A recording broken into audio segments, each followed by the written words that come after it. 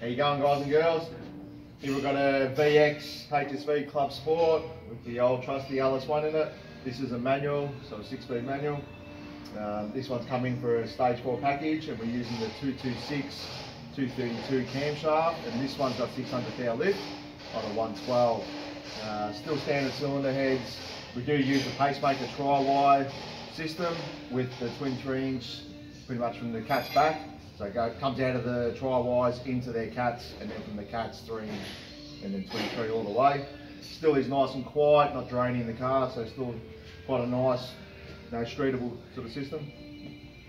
VCM Performance OTR, uh, being the VX model, we do have to use the aluminium one. The plastic version that they do make does have a much larger filter, but unfortunately with this, your VTs and VXs, the AC condenser is in the way, and unless you, you know, pretty much brutalize it or rip it out, it's quite hard to fit the plastic one in. So this OTR is still good, not, not, not knocking it in any way, but the plastic one is better, it does have more surface area. But perfectly fine for this application. Um, standard throttle body, a lot of people these days are still throwing throttle bodies on these things. Nothing wrong with the factory GM throttle body. The reality, the reality of it is, is that the, the manifold is the limiting factor. So if you can do the manifold upgrade on these things, which there are people doing them now, that is the single biggest thing you can do to these manifolds. But putting a bigger throttle body on them is just a dead set waste of time. So it's a bit of free information there. We'll do a power run, show you how much power it makes, can give you a bit of a sound note at the same time.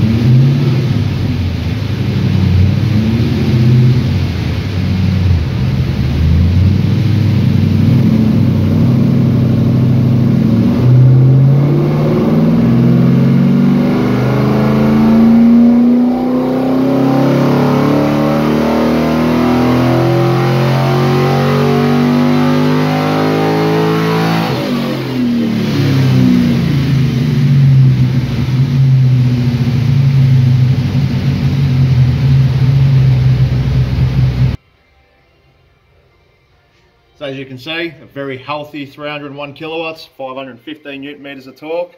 Yes, the car is on the hub. Yes, it makes more than what it would on a roller, but we're only talking 10 to 15 kilowatts. That's about it. So still a very healthy 290, you know, 288, 290 odd kilowatt on a roller dyno. Um, so either way, doesn't matter what dyno you're on, still good figures. Um, I drum on about this all the time, but the hub dyno is just accurate. It's accuracy, it's back to back. When you want to develop something and get something right, you use the hub dyno. You want to tune something quickly, you use the roller dyno. But anyway, enough about that.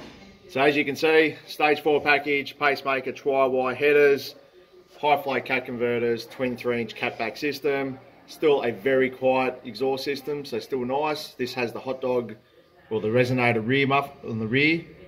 Um, I'm pretty sure we can get these in a different configuration to make them louder, but um, this is quite nice the way it is. So VCM, mathless alloy intake, and then the camshaft is a 226, 232 on a 112, and it's got around 600 thou lift. Um, the, the camshaft is available from our online store, and we are going to be selling this as a package where we can do it as a mail order form where we supply a tune, but we'll update the website over the next, hopefully over this week anyway. But um, peak torque is at around 5,000 revs and peak power is at 6,400 revs. So really, really good straight cam, super efficient. It's got around 52 to 54 kPa at idle, which is actually really good. Um, the stock engine is around the 40 sort of kPa, so you don't lose much manifold vacuum, and it is really, really efficient on the fuel. Um, it makes really good power with not having to tip a lot of fuel in, which is what we're looking for. We don't want to waste too much fuel with overlap, and this cam really ticks all the boxes. We, we rate this as a 10 out of 10. This is my go-to LS1 camshaft, and it will be for quite some time. Um, it's going to be pretty hard to beat this cam. So if you're looking for the best best streetable cam to suit your manual LS, this is the cam of choice. Thanks for watching guys and don't forget click the bell. I'm not sure whether it's on the left anymore or on the right but it's somewhere on the bottom of the screen and uh, check out our social media platforms Snapchat, um, Instagram and Facebook and so on. Thanks for watching again. Bye.